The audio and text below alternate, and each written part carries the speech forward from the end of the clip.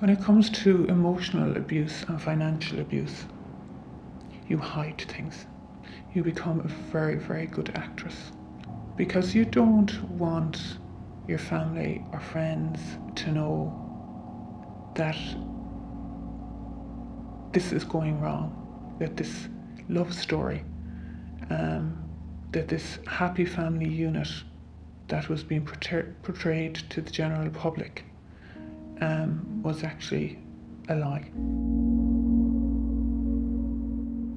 I remember after one particularly bad um, beating, my children wouldn't kiss me because my face had been quite badly injured and my lips were badly cut.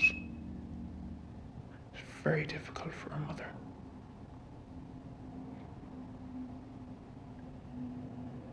Because in some respects,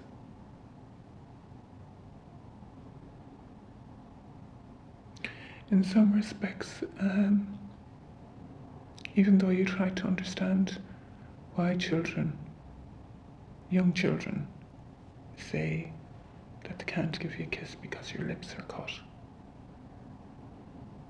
On another level, it's another rejection. It's another rejection of you as a human being.